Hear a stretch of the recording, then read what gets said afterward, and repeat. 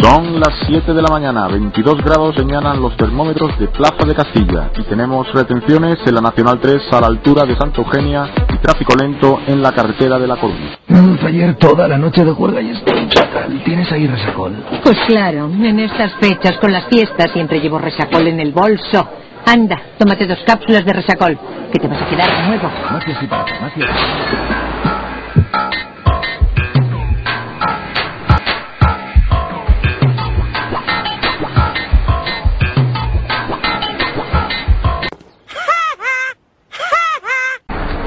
Estima que en una gran ciudad recibimos alrededor de unos 3.000 impactos publicitarios cada día.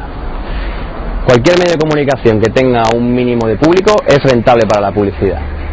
Así que apenas quedan espacios libres de la presión publicitaria.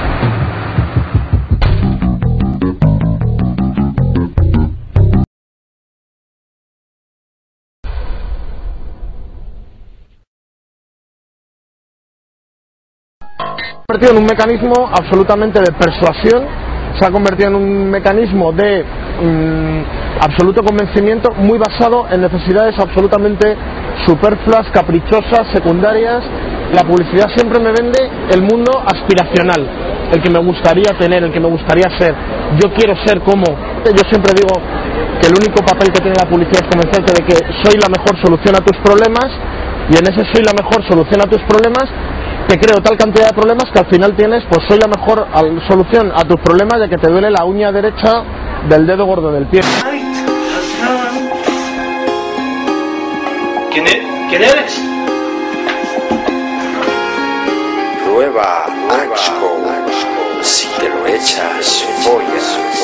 La publicidad no, no se ve nada sucio, no se ve nada contaminado, no se ve personas que lo estén pasando mal, ¿no?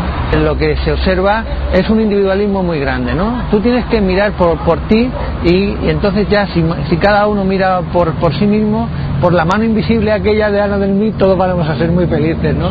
Si quieres ser feliz, envía felicidad al 5505. de la Navidad. Hey, compra ya, compra ya, compra.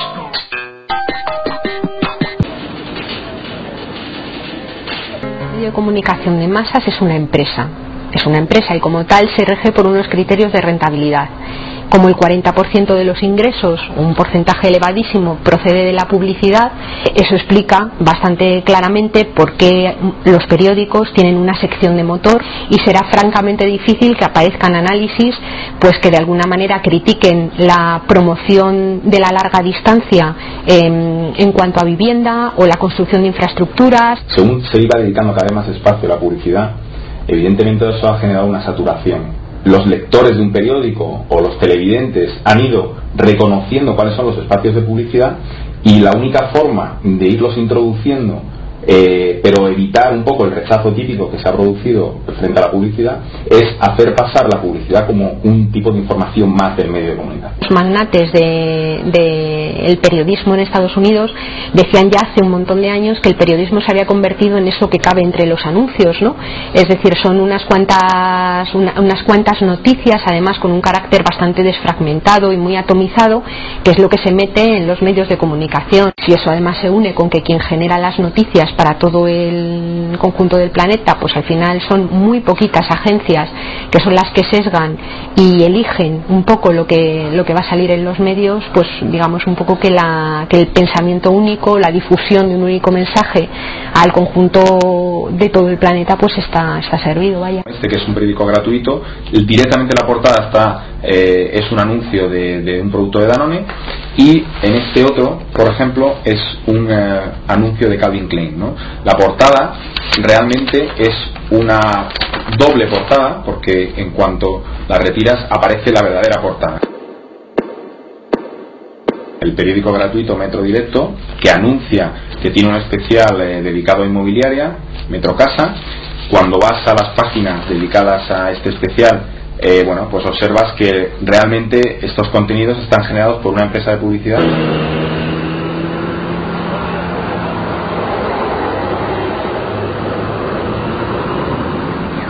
En España se ve una media de televisión diaria de tres horas y media, que es un continuo bombardeo aparte de todo lo que te están metiendo en la cabeza, es todo lo que dejas de hacer mientras estás viendo la, televisión. Es decir, no eh, hay una desarticulación de las relaciones comunitarias, eh, se pierde la capacidad de relacionarte socialmente con otras, pues, pues con tus vecinos o con quien tienes al, alrededor. Eh, ver la televisión no cuesta prácticamente ningún esfuerzo, es decir, uno la enchufa, la, a lo mejor la satisfacción que, tiene, que obtiene de ello, de ver la televisión, es limitada, pero realmente cuesta poco esfuerzo. El hecho de iniciar una relación o de iniciar cualquier otro tipo de actividad requiere un esfuerzo inicial. Un caso bastante interesante o importante por la relevancia que tiene social son las series de televisión. En algunos casos incluso el, el producto obliga a modificar el guion de la serie. Entonces se introduce incluso un nuevo personaje que antes eh, no ha estado en otros capítulos y que ese personaje tiene sentido dentro de esa serie. ¿no? Por ejemplo, en Los Serranos hay un perro que es eh, un, eh, integrante más de la familia, pero ese perro lo que realmente está haciendo es anunciar un producto de comida para perros en los capítulos en los que aparece. Todo el sistema está basado en que la gente cada vez consuma más y de forma más creciente, ¿no? Y sobre todo la publicidad lo que necesita es convencer a la gente de que consuma cosas que no son necesarias. Es decir, no te van a publicitar las patatas ni, ni el arroz más allá de la marca, pero sí obviamente todas aquellas cosas que no necesitarías realmente y que para que las compres te las tienen que meter por los ojos como sea.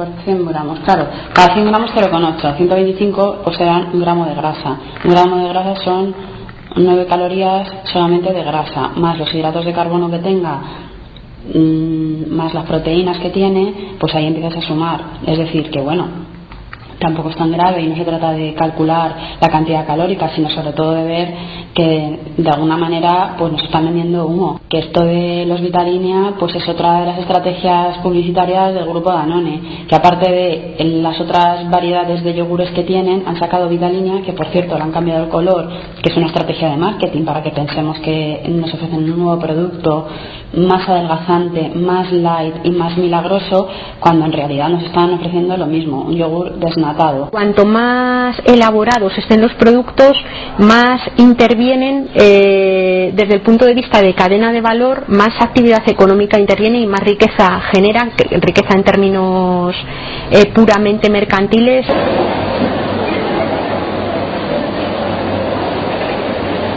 Leche enriquecida con vitaminas A y D la leche normal eh, recién ordeñada tiene vitaminas A y B. Es decir, es una de las características de la leche, por eso es tan buena, entre otras cosas, entre otros muchos nutrientes. Entonces, claro, eh, sí que es cierto que hay una estrategia de marketing mm, que se utiliza en otros productos en otros sectores de la industria y de la, en fin, de los servicios, que consiste en eh, utilizar un elemento y darle la categoría de novedad con eso saben que van a atrapar a un público pues que probablemente nunca antes se había interesado por eh, pensar si la leche tenía o no vitaminas.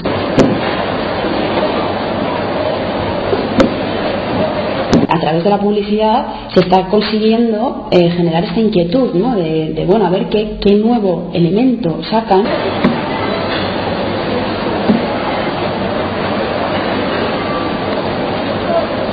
General en casi todos los productos se utilizan eh, menos cosas, están muy concentradas y lo que te presentan son diferentes formatos, diferentes envases y pequeñas modificaciones un poco con la, con la idea de llegar a una segmentación de cliente eh, y venderte la idea de que cada cliente tiene un producto adecuado.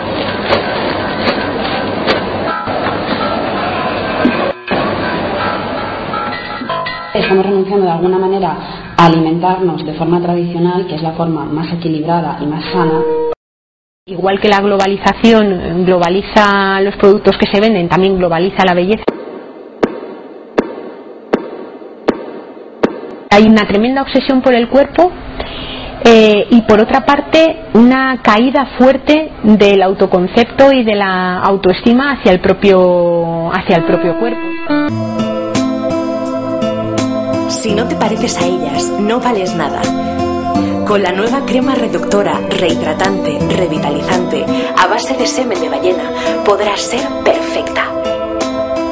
Ahora es curioso ver a chavalitas de 8 o 9 años en el colegio que se preocupan porque están gordas y que se preocupan por qué meriendan o dejan de merendar eh, por si les engorda. Mm, Todo esto acompañado de un aumento del, del consumo de cantidad de productos de alimentación que son bastante poco sanos muy grande. Se supone que dos barritas de esto equivalen a una comida. El aumento de enfermedades eh, alimentarias, o sea, trastornos alimentarios, yo creo que es un hecho que ya está afectando incluso a los chicos, pero que en el caso de las niñas es, es claro, ¿no? Claro, detrás hay un negocio de cremas, de clínicas, de operaciones, de, de- cirugía estética y, y de todo este tipo enorme, ¿no? Y, y bueno, pues para venderlo, es decir, para que alguien se meta en un quirófano a quitarse no sé qué Michelin o no sé qué pistolera, con los riesgos inherentes que lleva cualquier tipo de intervención quirúrgica, pues tienes que tener toda tu estima totalmente por los suelos. Ningún profesional que tuviera un mínimo de ética te recomendaría una dieta basada en este tipo de productos, porque a la larga, aparte de que tienen un impacto muy negativo sobre la salud, lo único que hacen es fomentar eh, el consumo de alimentos mm, poco nutritivos por un lado y luego un gasto de, dinero excesivo. favoritos. Si tú te pasas el día sentado en una silla, te pasas el día metido en un atasco, no el día, pero vamos, dos o horas o más metido en un atasco, no tienes tiempo de caminar, no tienes tiempo de salir a pasear, es decir, eh, las actividades que, que haces en casa de trabajo cada vez son más reemplazadas y te las hacen máquinas, es decir, ya no haces ni así para exprimir un limón, no mueves el cuerpo para nada, pero sin embargo eh, la sociedad te exige que para ser atractiva, que para estar bien, que para poder eh, seducir, de alguna manera tienes que tener ese otro cuerpo, eh, pues no tienes más remedio que pegarte unas panzadas horrorosas en un gimnasio.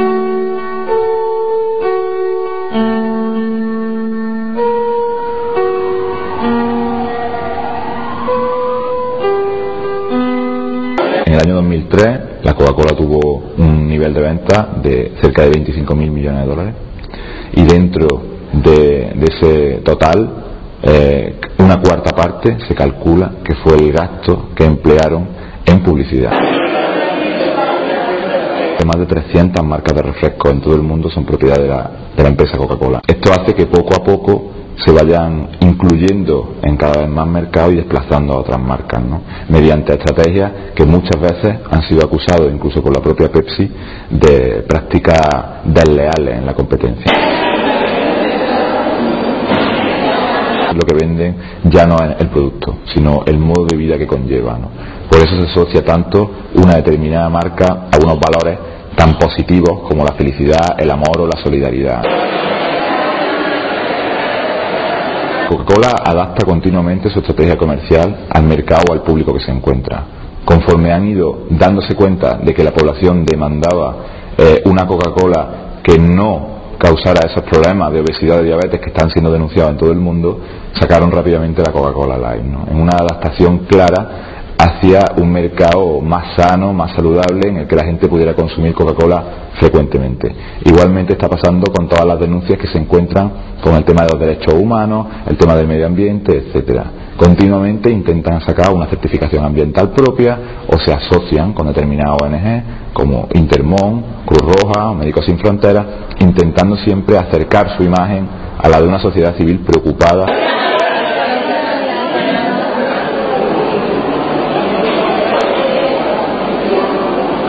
El hecho de que un refresco como la Coca-Cola sea hoy día el, símbolo de una globalización creciente y encima sea un producto que no es necesario, o por supuesto no es imprescindible en ningún sitio, pues da mucho que pensar sobre la sociedad que hoy día estamos promoviendo, ¿no? Yo el primer día del colegio pues me pondré, vale, como soy, pero iré con no con marcas, ¿sabes? Pero que para Arreglada. una buena impresión, porque si no... Buena impresión es ir con marca. Claro, Si no lo llevas, no molas. Nuevo estatus. También Aunque pues, no quiera, es eso. que a estas edades lo que tú piensas pues, lo, lo, lo das a entender por tu forma de vestir. Y claro, si uno es rapero pues se pone pantalones anchos, no sé qué. Entonces estás diciendo yo pienso así y, y lo estás ahí para que todo el mundo te vea. Tú no vas a ser mejor deportista por comprarte Nike, pero, pero los que te ven ya piensan eso. ¿Por qué? Porque lo han visto antes a un famoso algo. Ya no conocemos sitios donde no se pueda gastar, o sea que tú vayas ahí ya y vayas a pasarlo bien y no tengas que pagar nada, ¿no? Y es eso, que todo el mundo sabe cómo, cómo hace Nike las cosas y todo, pero se sigue comprando, entonces... Pero claro, ¿por qué? Porque eres diferente al tipo. Sí, entonces, Eso como no todo es el mundo, raro, todo es el mundo me clasifica como raro, pues yo digo, pues vale, Ah, pues tú raro. eres el tonto que te lo crees. Vale, y- pero me da exactamente igual lo que piensan los demás. Yo soy como soy y ya está. Y que muchas veces la publicidad lo que intenta hacer es que nos hagamos sentir mal o por mira cómo está esa que yo no estoy igual para ir al mercado, consumirlo y pensar que vamos a estar igual que la Claro, imagen que nos acaban de poner por la televisión. No es así, eres tú y punto. Lo mismo yo estoy contenta conmigo misma hace media hora y pongo la televisión y al ver que esta chica tiene unas cualidades que por ejemplo no, no se parecen a las mías, pues ya me empieza a poner la cabeza y pues hace media hora pienso una cosa y a la otra. Ellos no ponen lo que a nosotros nos gusta, sino nosotros vemos lo que a ellos les gusta y al final nos acaba gustando. Asistimos a una época de expansión irrefrenada del crédito ¿no? y de por tanto del endeudamiento. Durante estos 20 o 30 últimos años, 20 últimos años, lo que ha ocurrido con los países periféricos, que son donde se está asentando la producción, pues es que las monedas de esos respectivos países han caído en relación a las monedas centrales. Nueva hipoteca libre, porque la esclavitud es la libertad. ha habido una expansión muy fuerte y no solamente en Estados Unidos sino en unos 18 19 países del mundo de los precios de los activos inmobiliarios eso lo que ha creado es una burbuja financiera que es la burbuja financiera según dice el Economist eh, especulativa más grande de la historia del capitalismo entonces para aquellos que tienen esos activos ¿no? esas viviendas esos terrenos esas oficinas pues el poder de compra se ha incrementado de una manera espectacular Esa cultura de la abundancia lo que provoca es irreflexibilidad, ¿no? O sea, tú no tienes ni idea ni te interesa, digamos, saber de dónde provienen los bienes y servicios de los cuales te estás abasteciendo, ¿no? Esto, claro, tiene unos efectos, digamos, sociales y económicos terribles.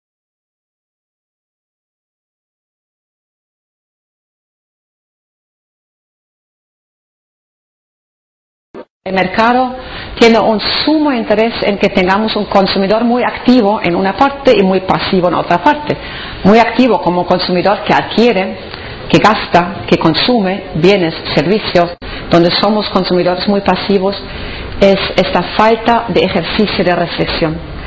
Porque consumimos, y si consumimos si es necesario, si consumimos si es realmente, si hace bien, al planeta, a la comunidad, al medio ambiente, a los productores del sur, a los desfavorecidos en el norte. Nos falta quizás este consumidor crítico, que no solamente pregunta, reflexiona, sino si tiene que castigar a través del consumo, porque alguien explota el medio ambiente o el ser humano, el consumidor quizás no castigue lo suficiente. Lo que ocurre también es que, digamos, de acuerdo al paradigma neoliberal en el cual vivimos en el cual consumimos, el comercio se ha transformado en un símbolo también de, explotación. Eh, y de obtención de la máxima ganancia mm, bajo cualquier fin. Antes, digamos, con el comercio pequeño, pues venía una furgoneta cargada de, de yo qué sé, de pastas para, para merendar o para desayunar y te las dejaban más o menos cerca de casa, tan cerca que podían bajar tus hijos a por ellas y todo esto.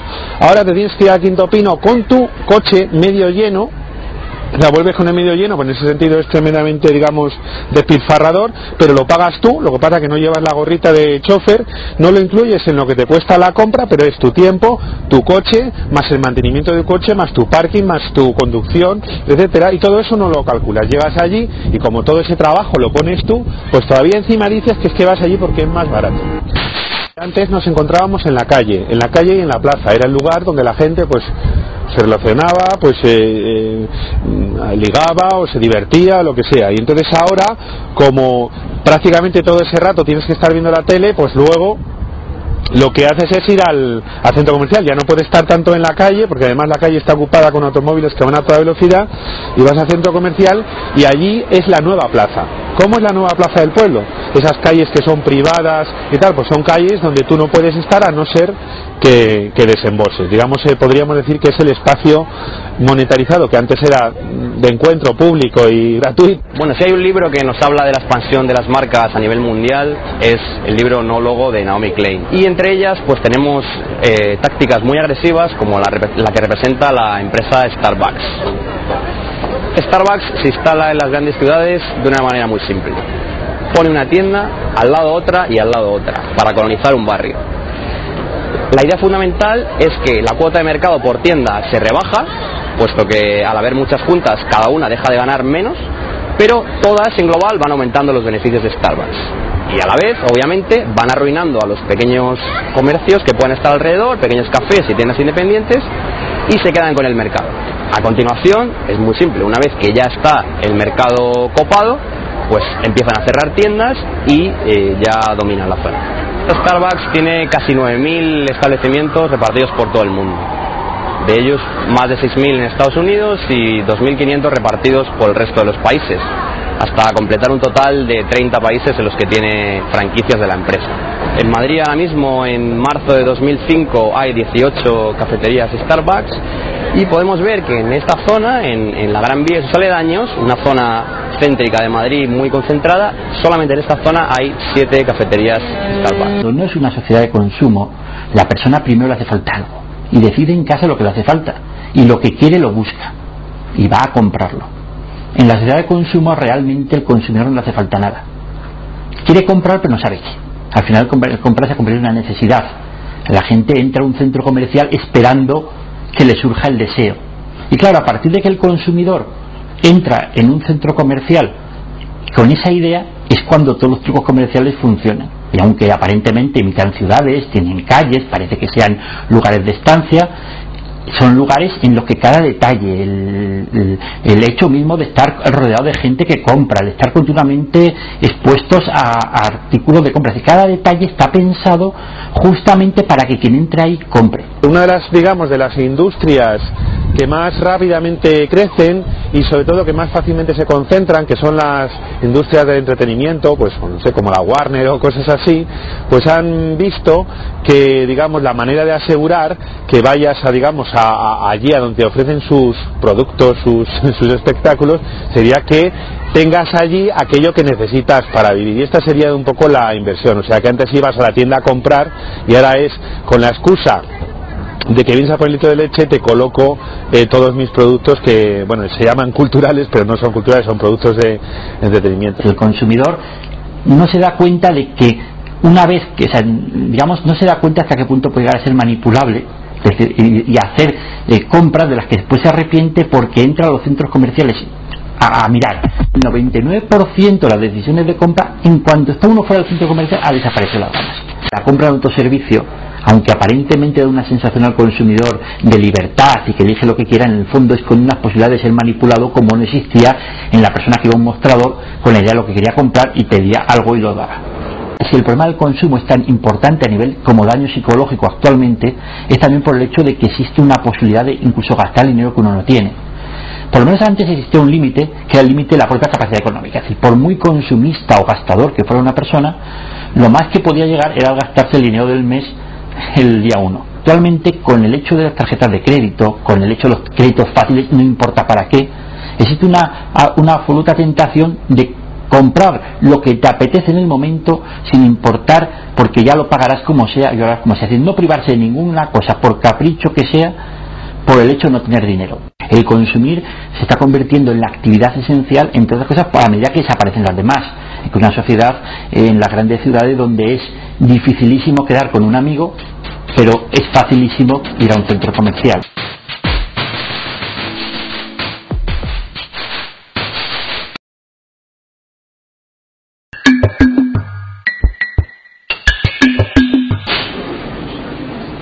Bueno, el, el, modelo de consumo es, eh, en su esencia es insostenible, porque lo que hace es depredar los recursos que son abundantes y han sido creados, digamos, por la, por la naturaleza durante miles de años, miles y millones de años, y en un par de siglos, pues eh, destruirlos y meterlos dentro del mercado siendo un proceso de resta, o sea, de cada vez tenemos menos esos bienes abundantes, sin embargo, en el sistema económico, por el proceso de monetarización, lo que hace es contar en positivo. Entonces, por ejemplo, si tienes el agua contaminada, pues entonces la compras en el supermercado. Entonces el agua abundante del río que tenías antes accesible de forma directa, ahora tienes que comprar en el supermercado. Mucha menos y por supuesto pagando. Pues el agua contaminada hace subir el Producto Interior Bruto. En esencia es más lo que destruye que lo que produce y por eso es insostenible.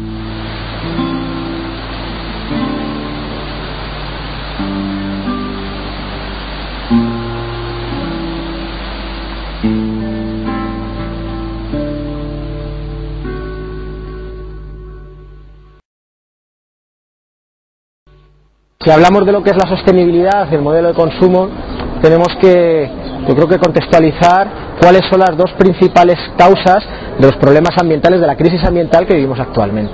Desde mi punto de vista, los dos problemas fundamentales, las dos patas de esa crisis, eh, se, una estaría en el modelo de producción, un modelo de producción globalizado a nivel mundial, en el cual, pues bueno, pues el incremento de kilómetros que realizan las materias en sus intercambios comerciales, pues es creciente. Esto tiene una serie de impactos ambientales de todo tipo, desde la construcción de infraestructuras, emisión de contaminantes, etcétera, pues bueno, que explican parte de la situación ambiental que tenemos actualmente. Esa sería la primera pata. La segunda pata, y no menos fundamental que esta, es pues bueno, un modelo de consumo, un modelo que venimos a llamar, a denominar consumista, que bueno, pues que está suponiendo que haya un gasto creciente de recursos, una producción creciente de residuos a pesar de que la destrucción es cada vez mayor, la fe tecnológica es a su vez cada vez mayor y entonces, digamos, por eso como sociedad estamos tan tranquilos asistiendo, digamos, a este, digamos, fuerte destrucción, porque se supone que hay una cosa que podríamos decir que casi es de fe, que es que la, la tecnología arreglará aquello que ahora estamos fastidiando. Dentro de un modelo económico que considera que todo crecimiento económico es positivo, eh, dentro de esa filosofía encaja perfectamente el consumo de productos de usar y tirar. Es decir, rápida generación, sin muchos miramientos ambientalmente y luego también un desecho rápido. No se lava, no se arregla, no se cuida, se usa y se tira.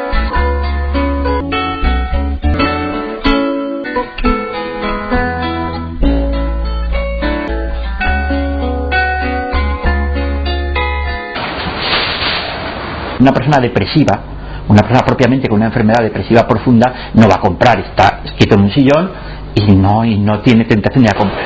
Con lo que correlacionaba, pero clarísimamente, como factor número uno, el deseo de compra, era con la insatisfacción vital. Es decir, con la, no exactamente con la depresión, sino con unas palabras que repetían continuamente las personas que tenían problemas de compra, que era el aburrimiento por ejemplo, lo que más correlacionaba con querer comprar mucho era no estoy contento con la vida que llevo, a menudo me encuentro solo en casa, tengo pocas cosas que hacer, me encuentro, es decir, siempre era con la falta de otro tipo de alicientes y de alegrías que no fueran el consumo. Lo horrible del mensaje consumista es que en su esencia lleva la insatisfacción porque es insaciable. No hay un momento en que la sociedad de consumo diga, ala, ya estás feliz, ya tienes lo que querías tiene que crear permanentemente insatisfacción para que haya permanentemente deseo de compra. Hasta las vacaciones ya no existe persona que sea capaz de vivirlas sin, una idea, ya no consumista, sino una idea no estresada. Es un viaje de 15 días para ver si puedo ir a, ir a 20 ciudades mejor que a 15. Quizá el consumismo es el único tema en el que el pensamiento único es evidente y claro. Nadie, mm, nadie encuentra realmente eco o interés en todos los mensajes no consumistas, a pesar de que todo el mundo en su interior piensa que quizá es el reto más fundamental de este siglo. Querer engañar a la gente descaradamente para que esté adormecida y no despierte del letargo de que las cosas no son así, de que se puede vivir con mucha sencillez y muy feliz, que se puede vivir con, mucha austeridad y ser feliz y que la autoestima no depende de un nivel alto de consumo de mercancías.